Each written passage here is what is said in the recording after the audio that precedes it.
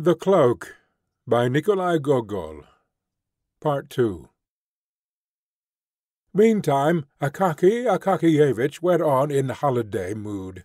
He was conscious every second of the time that he had a new cloak on his shoulders, and several times he laughed with internal satisfaction. In fact there were two advantages. One was its warmth, the other its beauty. He saw nothing of the road, but suddenly found himself at the department. He took off his cloak in the anteroom, looked it over carefully, and confided it to the special care of the attendant. It is impossible to say precisely how it was that every one in the department knew at once that Akaky Akakiyevich had a new cloak, and that the cape no longer existed. All rushed at the same moment into the anteroom to inspect it. They congratulated him, and said pleasant things to him, so that he began at first to smile, and then to grow ashamed. When all surrounded him and said that the new cloak must be christened, and that he must at least give them all a party, Akaky Akakiyevich lost his head completely, and did not know where he stood, what to answer, or how to get out of it. He stood blushing all over for several minutes, trying to assure them with great simplicity that it was not a new cloak, that he was in fact the old cape.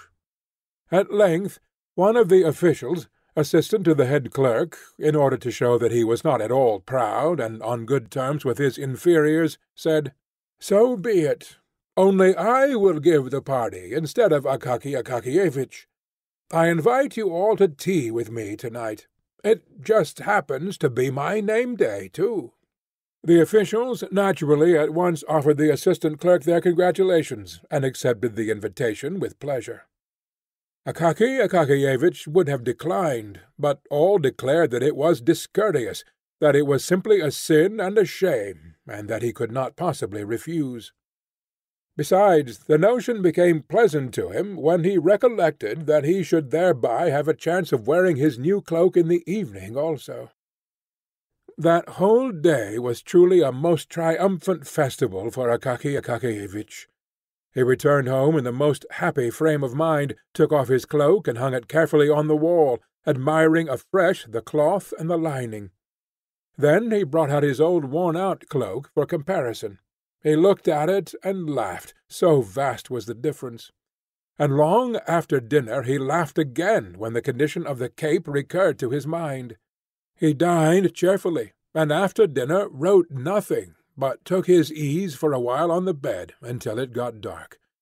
Then he dressed himself leisurely, put on his cloak, and stepped out into the street. Where the host lived, unfortunately, we cannot say. Our memory begins to fail us badly. The houses and streets in St. Petersburg have become so mixed up in our head that it is very difficult to get anything out of it again in proper form. This much is certain, that the official lived in the best part of the city, and therefore it must have been anything but near to Akaky Akakiyevich's residence. Akaky Akakiyevich was first obliged to traverse a kind of wilderness of deserted, dimly lighted streets, but in proportion as he approached the official's quarter of the city, the streets became more lively, more populous, and more brilliantly illuminated. Pedestrians began to appear Handsomely dressed ladies were more frequently encountered. The men had otter-skin collars to their coats. Shabby sleighmen, with their wooden railed sledges stuck over with brass-headed nails, became rarer; whilst on the other hand more and more drivers in red velvet caps, lacquered sledges, and bearskin coats began to appear, and carriages with rich hammer-cloths flew swiftly through the streets, their wheels scrunching the snow. Akaky Akakiyevich gazed upon all this as upon a novel sight. He had not been in the streets during the evening for years. He halted out of curiosity before a shop window to look at a picture representing a handsome woman who had thrown off her shoe, thereby baring her whole foot in a very pretty way, whilst behind her the head of a man with whiskers and a handsome moustache peeped through the doorway of another room. Akaky Akakiyevich shook his head and laughed and then went on his way. Why did he laugh? Either because he had met with a thing utterly unknown, but for which every one cherishes nevertheless some sort of feeling, Or else he thought, like many officials, Well, those French, what is to be said? If they do go in for anything of that sort, why uh, But possibly he did not think at all. Akaky Akakiyevich at length reached the house in which the head clerk's assistant lodged. He lived in fine style. The staircase was lit by a lamp, his apartment being on the second floor. On entering the vestibule, Akaky Akakiyevich beheld a whole row of galoshes on the floor. Among them, in the centre of the room, stood a samovar, humming and emitting clouds of steam. On the walls hung all sorts of coats and cloaks, among which there were even some with beaver collars or velvet facings. Beyond, the buzz of conversation was audible, and became clear and loud when the servant came out with a trayful of empty glasses, cream jugs, and sugar bowls. It was evident that the officials had arrived long before, and had already finished their first glass of tea. Akaky Akakiyevich, having hung up his own cloak, entered the inner room. Before him all at once appeared lights, officials, pipes, and card tables, and he was bewildered by a sound of rapid conversation rising from all the tables, and the noise of moving chairs. He halted very awkwardly in the middle of the room, wondering what he ought to do. But they had seen him. They received him with a shout, and all thronged at once into the anteroom, and there took another look at his cloak. Akaky Akakiyevich, although somewhat confused, was frank-hearted, and could not refrain from rejoicing when he saw how they praised his cloak. Then, of course, they all dropped him and his cloak, and returned, as was proper, to the tables set out for whist.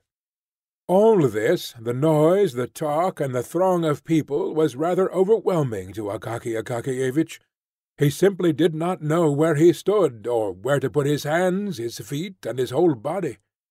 Finally he sat down by the players, looked at the cards, gazed at the face of one and another, and after a while began to gape and to feel that it was wearisome, the more so as the hour was already long past when he usually went to bed. He wanted to take leave of the host, but they would not let him go, saying that he must not fail to drink a glass of champagne in honour of his new garment. In the course of an hour, supper, consisting of vegetable salad, cold veal, pastry, confectioner's pies, and champagne, was served. They made Akaky Akakiyevich drink two glasses of champagne, after which he felt things grow livelier. Still he could not forget that it was twelve o'clock, and that he should have been at home long ago. In order that the host might not think of some excuse for detaining him, he stole out of the room quickly, sought out in the anteroom his cloak, which, to his sorrow, he found lying on the floor, brushed it, picked up every speck upon it, put it on his shoulders, and descended the stairs to the street. In the street all was still bright. Some petty shops, those permanent clubs of servants and all sorts of folks, were open. Others were shut, but nevertheless showed a streak of light the whole length of the door-crack, indicating that they were not yet free of company, and that probably some domestics, male and female, were finishing their stories and conversations, whilst leaving their masters in complete ignorance as to their whereabouts. Akaky Akakiyevich went on in a happy frame of mind. He even started to run, without knowing why, after some lady, who flew past like a flash of lightning. But he stopped short, and went on very quietly as before, wondering why he had quickened his pace.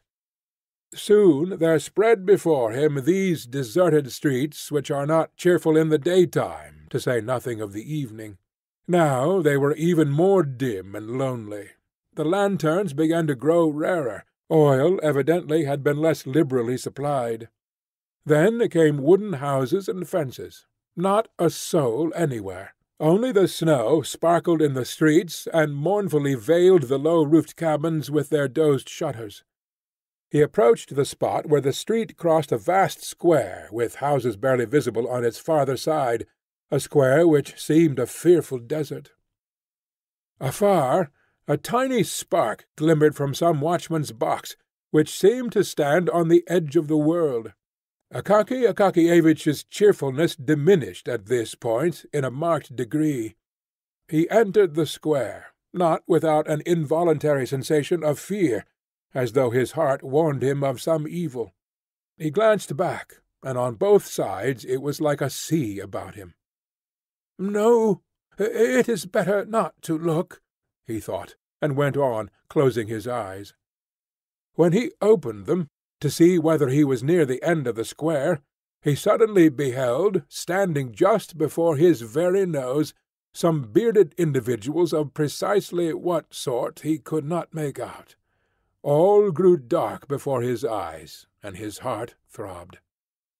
"Of course the cloak is mine," said one of them in a loud voice, seizing hold of his collar. Akaky Akakiyevich was about to shout, "Help!" When the second man thrust a fist, about the size of an official's head, at his very mouth, muttering, "Just you dare to scream!"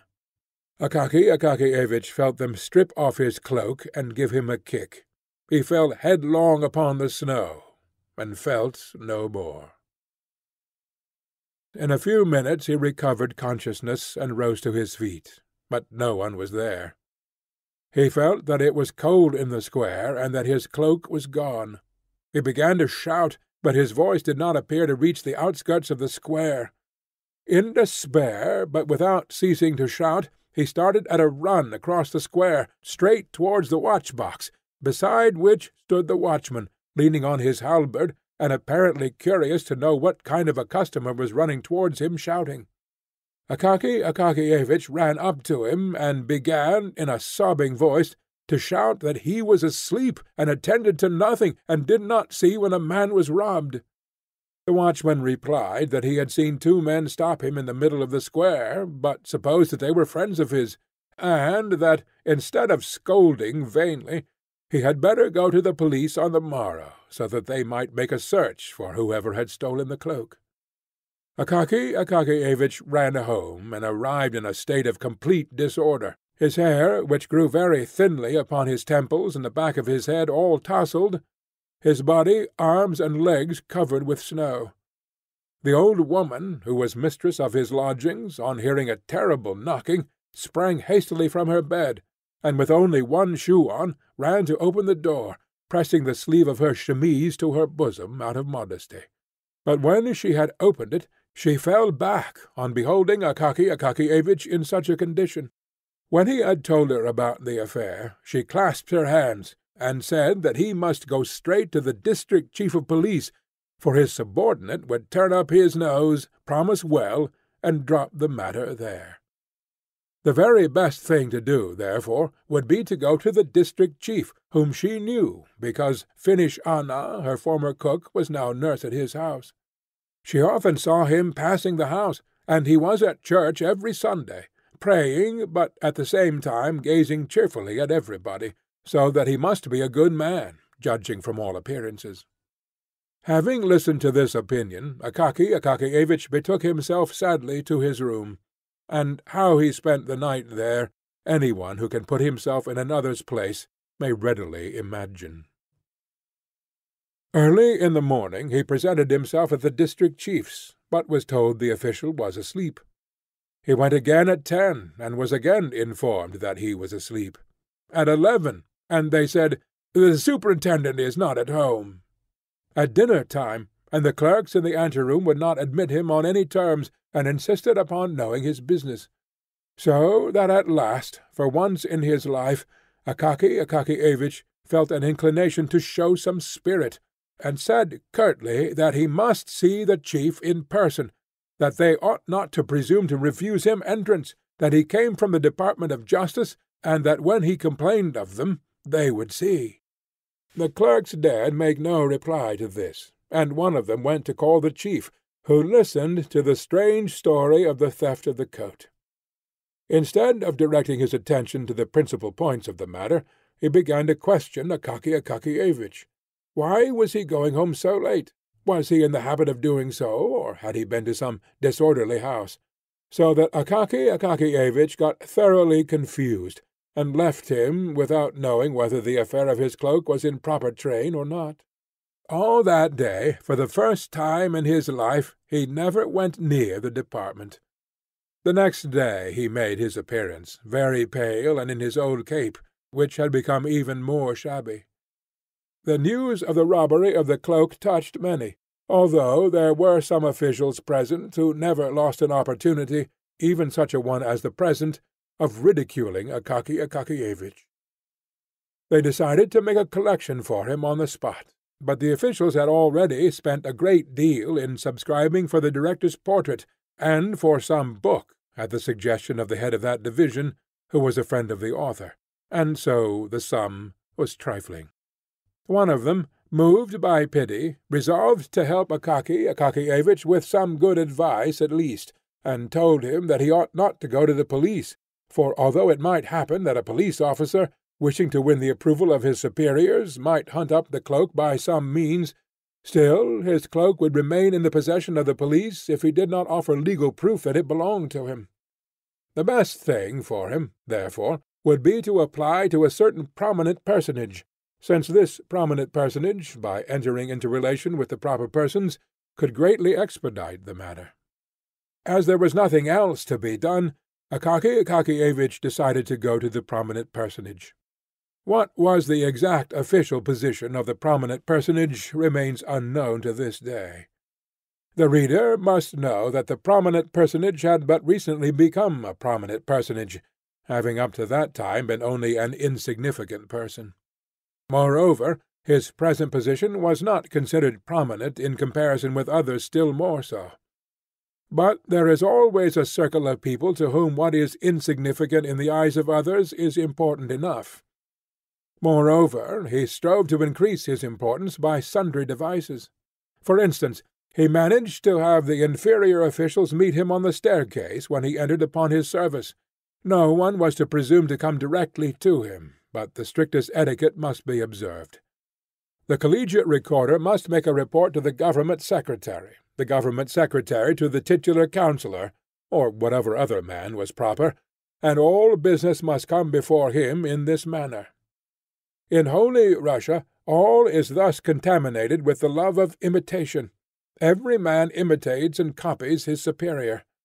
They even say that a certain titular councillor, when promoted to the head of some small separate office, immediately partitioned off a private room for himself, called it the audience chamber, and posted at the door a lackey with red collar and braid, who grasped the handle of the door and opened to all comers, though the audience-chamber would hardly hold an ordinary writing-table. The manners and customs of the prominent personage were grand and imposing, but rather exaggerated. The main foundation of his system was strictness. Strictness, strictness, and always strictness, he generally said, and at the last word he looked significantly into the face of the person to whom he spoke. But there was no necessity for this, for the half-score of subordinates who formed the entire force of the office, were properly afraid. On catching sight of him afar off, they left their work and waited, drawn up in line, until he had passed through the room.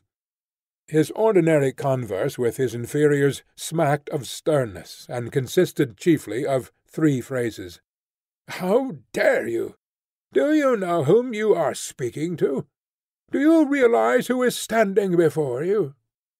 Otherwise he was a very kind-hearted man, good to his comrades, and ready to oblige. But the rank of general threw him completely off his balance.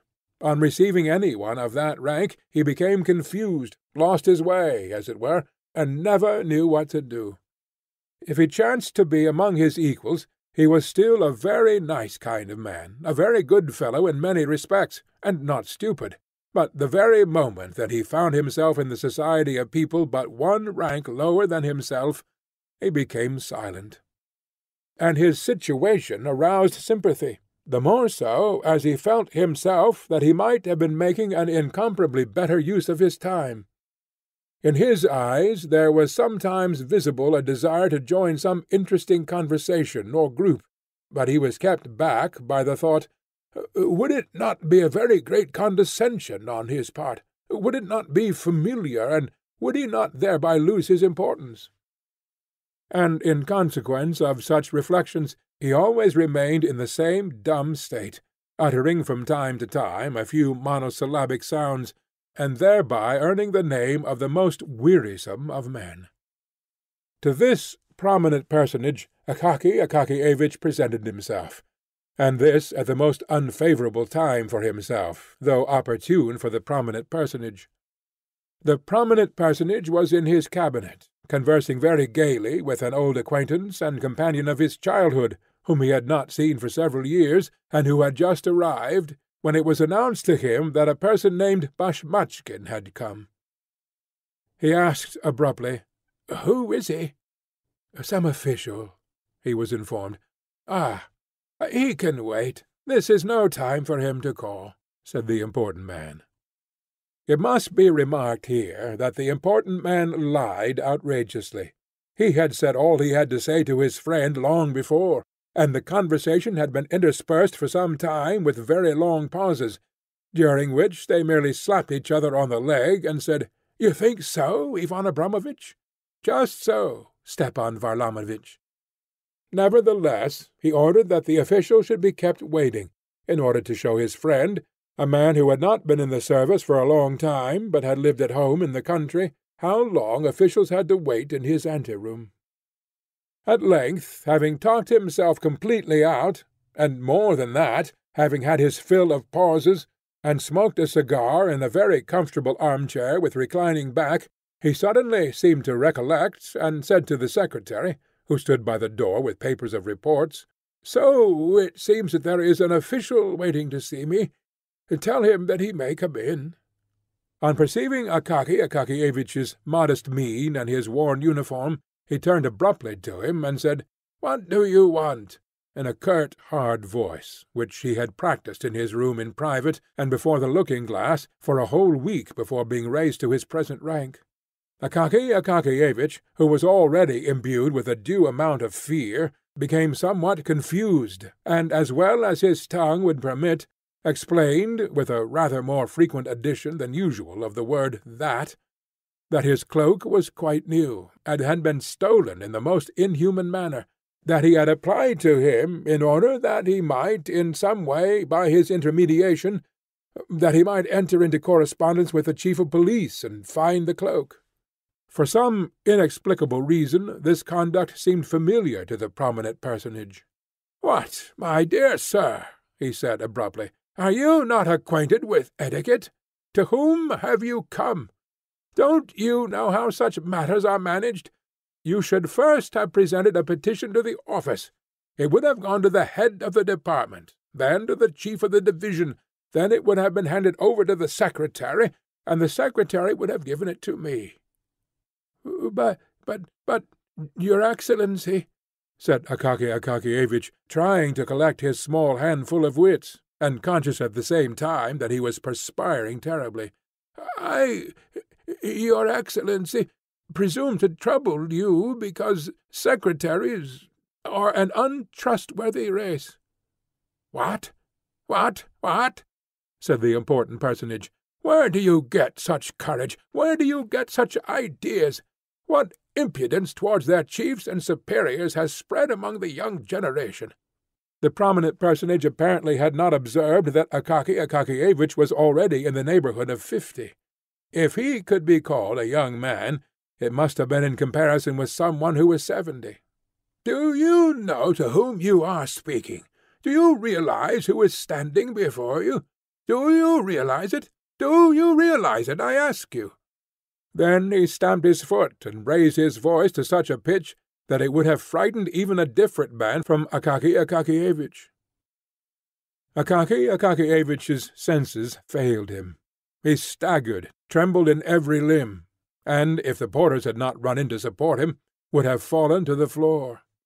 They carried him out insensible, but the prominent personage, gratified that the effect should have surpassed his expectations, and quite intoxicated with the thought that his word could even deprive a man of his senses, glanced sideways at his friend in order to see how he looked upon this, and perceived, not without satisfaction, that his friend was in a most uneasy frame of mind, and even beginning on his part to feel a trifle frightened.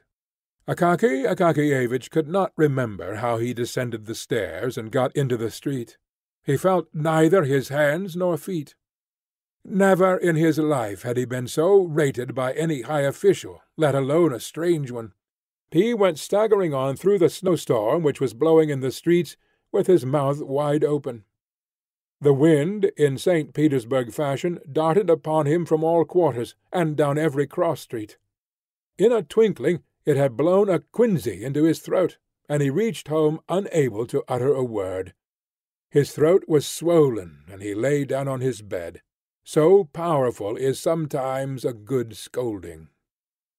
The next day a violent fever developed. Thanks to the generous assistance of the St. Petersburg climate, the malady progressed more rapidly than could have been expected, and when the doctor arrived, he found, on feeling the sick man's pulse, that there was nothing to be done except to prescribe a poultice, so that the patient might not be left entirely without the beneficent aid of medicine. But at the same time he predicted his end in thirty-six hours. After this he turned to the landlady and said, "And as for you, don't waste your time on him. Order his pine coffin now, for an oak one will be too expensive for him." Did Akaky Akakiyevich hear these fatal words? And if he heard them, did they produce any overwhelming effect upon him? Did he lament the bitterness of his life? We know not, for he continued in a delirious condition. Visions incessantly appeared to him, each stranger than the other. Now he saw Petrovich, and ordered him to make a cloak, with some traps for robbers, who seemed to him to be always under the bed, and he cried every moment to the landlady to pull one of them from under his coverlet. Then he inquired why his old mantle hung before him when he had a new cloak. Next he fancied that he was standing before the prominent person, listening to a thorough setting down, and saying, "Forgive me, your Excellency but at last he began to curse, uttering the most horrible words, so that his aged landlady crossed herself, never in her life having heard anything of the kind from him, and more so as these words followed directly after the words "Your Excellency." Later on he talked utter nonsense, of which nothing could be made, all that was evident being that these incoherent words and thoughts hovered ever about one thing his cloak. At length poor Akaky Akakiyevich breathed his last. They sealed up neither his room nor his effects, because, in the first place, there were no heirs, and, in the second, there was very little to inherit beyond a bundle of goose quills, a quire of white official paper, three pairs of socks, two or three buttons which had burst off his trousers, and the mantle already known to the reader. To whom all this fell, God knows. I confess that the person who told me this tale took no interest in the matter. They carried Akaky Akakiyevich out and buried him. And St. Petersburg was left without Akaky Akakiyevich, as though he had never lived there. A being disappeared who was protected by none, dear to none, interesting to none, and who never even attracted to himself the attention of those students of human nature who omit no opportunity of thrusting a pin through a common fly and examining it under the microscope. A being who bore meekly the gibes of the department, and went to his grave without having done one unusual deed, but to whom, nevertheless, at the close of his life, appeared a bright visitant in the form of a cloak, which momentarily cheered his poor life, and upon him thereafter an intolerable misfortune descended, just as it descends upon the heads of the mighty of this world. Several days after his death the porter was sent from the department to his lodgings, with an order for him to present himself there immediately, the chief commanding it, but the porter had to return unsuccessful, with the answer that he could not come, and to the question why, replied, well, eh, because he's dead. He was buried four days ago. In this manner did they hear of Akaky Akakiyevich's death at the department, and the next day a new official sat in his place, with a handwriting by no means so upright, but more inclined and slanting. But who could have imagined that this was not really the end of Akaky Akakiyevich, that he was destined to raise a commotion after death, as if in compensation for his utterly insignificant life. But so it happened, and our poor story unexpectedly gains a fantastic ending. A rumour suddenly spread through St. Petersburg that a dead man had taken to appearing on the Kalinkin Bridge and its vicinity at night in the form of an official seeking a stolen cloak, and that, under the pretext of its being the stolen cloak, he dragged, without regard to rank or calling, every one's cloak from his shoulders, be it catskin, beaver, fox, bear, sable; in a word, every sort of fur and skin which men adopted for their covering. One of the department officials saw the dead man with his own eyes, and immediately recognized in him Akaky Akakiyevich. This, however, inspired him with such terror that he ran off with all his might, and therefore did not scan the dead man closely, but only saw how the latter threatened him from afar with his finger. Constant complaints poured in from all quarters that the backs and shoulders not only of titular but even of court councillors were exposed to the danger of a cold on account of the frequent dragging off of their cloaks.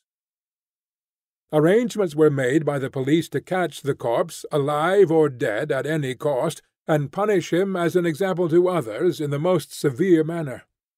In this they nearly succeeded, for a watchman, on guard in Kiriushkin Lane, caught the corpse by the collar on the very scene of his evil deeds, when attempting to pull off the frieze cloak of a retired musician. Having seized him by the collar, he summoned, with a shout, two of his comrades, whom he enjoined to hold him fast, while he himself felt for a moment in his boot, in order to draw out his snuff-box and refresh his frozen nose. But the snuff was of a sort which even a corpse could not endure. The watchman having closed his right nostril with his finger, had no sooner succeeded in holding half a handful up to the left than the corpse sneezed so violently that he completely filled the eyes of all three. While they raised their hands to wipe them, the dead man vanished completely, so that they positively did not know whether they had actually had him in their grip at all. Thereafter the watchmen conceived such a terror of dead men that they were afraid even to seize the living, and only screamed from a distance, Hey there! Go your way! So the dead official began to appear even beyond the Kalinkin Bridge, causing no little terror to all timid people. But we have totally neglected that certain prominent personage who may really be considered as the cause of the fantastic turn taken by this true history. First of all, Justice compels us to say that after the departure of poor annihilated Akaky Akakiyevich he felt something like remorse. Suffering was unpleasant to him, for his heart was accessible to many good impulses, in spite of the fact that his rank often prevented his showing his true self. As soon as his friend had left his cabinet, he began to think about poor Akaky Akakiyevich. And from that day forth poor Akaky Akakiyevich who could not bear up under official reprimand, recurred to his mind almost every day. The thought troubled him to such an extent that a week later he even resolved to send an official to him to learn whether he really could assist him. And when it was reported to him that Akaky Akakiyevich had died suddenly of fever, he was startled, hearkened to the reproaches of his conscience, and was out of sorts for the whole day. Wishing to divert his mind in some way, and drive away the disagreeable impression, he set out that evening for one of his friends' houses, where he found quite a large party assembled.